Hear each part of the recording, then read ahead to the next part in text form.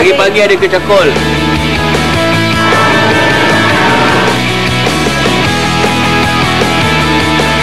Ada pokok apple lah.